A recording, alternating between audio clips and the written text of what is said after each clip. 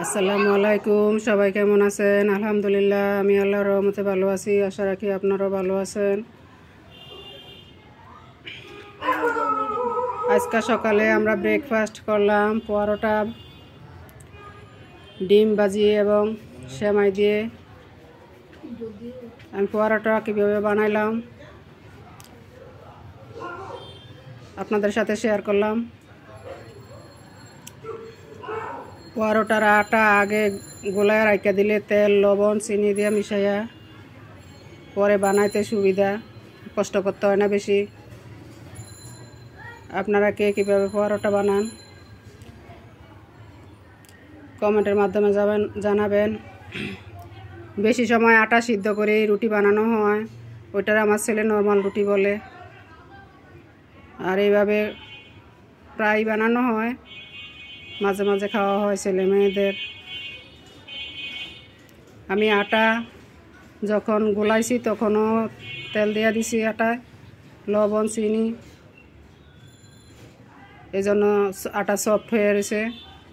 পনেরো মিনিট, বিশ মিনিট রাইকা দিয়ে তারপরে রুটি বানাইলে আর সফট হয়। সবগুলি পরোটা বানিয়ে নিয়েছি। তারপরে চুলার কাছে গেলাম। দুপুরের জন্য ডাল বসালাম পাশে।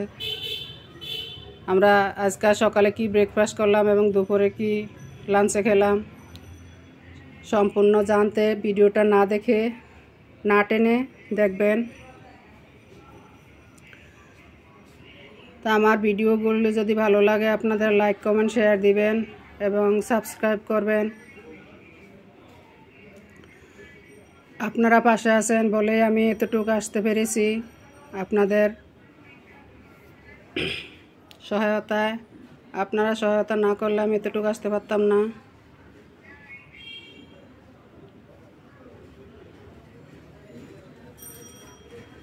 তা আমি পরোটাগুলি ভেবে ভেজে নিলাম। এভাবে সবগুলি পরোটা ভেজে নেওয়ার পরে ছেলে মেয়েদের নাস্তা দিয়েছি এবং নিজেও খেয়েছি। আর হাজব্যান্ড তো সকালে নাস্তা খেয়ে চলে গেছে। উনি গতকালকের আমার রুটি ফ্রোজন করা ছিল নর্মাল ফ্রিজে ওইগুলি ভেজে দিয়েছি। সকালে খেয়ে অফিসে চলে গেছে। তারপর ছেলে মেয়ে ঘুম থেকে ওঠার পর তাদেরকে পরোটা বানিয়ে দিলাম।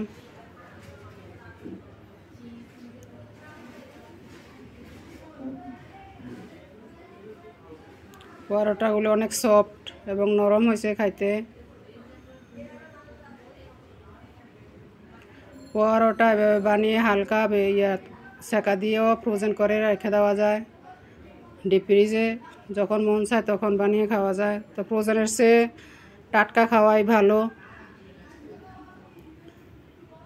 অনেকে তো ফ্রোজেন করা পরোটা কিনে এনে খায়। ওইগুলো খাওয়া আর না খাওয়া সমান কথা। নিজের হাতে গরম গরম পোয়ারোটা বানিয়ে খাওয়া অনেক ভালো। ফ্রোজেন করা জিনিস খাওয়াই উচিত না। তারপর মানুষ কি করব? কাজ করে, ব্যস্ত থাকে এই জন্য ফ্রোজেন করা জিনিস খায়। একদিন কষ্ট করে এক সপ্তাহ খায়। তো এইভাবে আমি সবগুলি পরোটায় ভেজে নিলাম। আমার পরোটাগুলি দেখতে খুব সুন্দর হয়েছে। এবং নরমও হয়েছে সফট হয়েছে। এই যে ছেলে মেয়েদেরকে ডিম ভাজি দিয়েছি এবং সেমাই রান্না করেছিলাম। সেমাই দিয়েছি। আজকে দুপুরে আমরা ডাল আর আলু ভর্তা দিয়ে বাঙালি খাবার খেয়েছি লাঞ্চে। তো একটু আলুর ভর্তা শেয়ার করলাম আপনাদের সাথে। মাঝে মাঝে আলুর ভর্তা ডাল খেতে হয় শাক ভাজি খেতে হয়। সব সময় ভালো খাওয়া, রুচি লাগে না। আর আমাদের তো বাঙালিদের পছন্দই আলু ভর্তা। এটা ডাক্তারের নিষেধ, আলু, ভাত, একই জিনিস, তারপরও আলু ভর্তা, আলু ভাজি।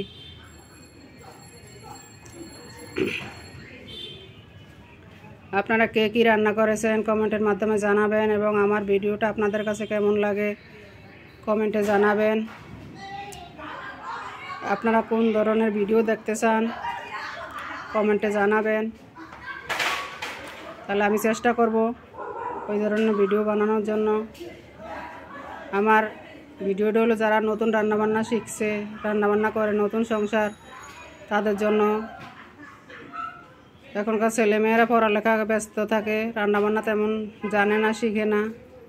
তাই বিয়ের পর হঠাৎ করে শ্বশুর বাড়িতে গেলে বিপদে পড়তে হয়।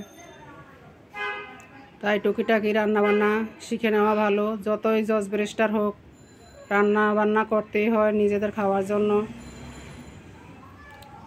কাজের লোকের রান্না খাওয়া উচিত না। কাজের লোকেরা বিভিন্ন বাসায় কাজ করে এবং তাদের রান্না খাওয়া উচিত না। নিজেরা যতটুকু পারে সামর্থ্য থাকে নিজেরাই রান্না করে খাওয়া উচিত।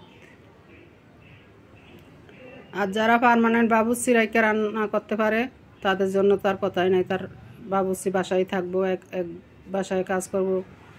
আর যারা ছুটা বুয়া দিয়া রান্না বান্না করায়, আমার মতে ওইগুলা করা ঠিক না। কষ্ট হলো নিজেরা নিজেদের কাজ করে নেওয়া ভালো। এই তো আপনারা ভিডিওটা না টেনে দেখবেন। আজকের জন্য এখানেই শেষ করছি। আল্লাহ হাফেজ, আসসালামু আলাইকুম। সবাই ভালো থাকবেন, আমাদের জন্য দোয়া করবেন। আমিও আপনাদের জন্য দোয়া করি, আপনারা ভালো থাকেন।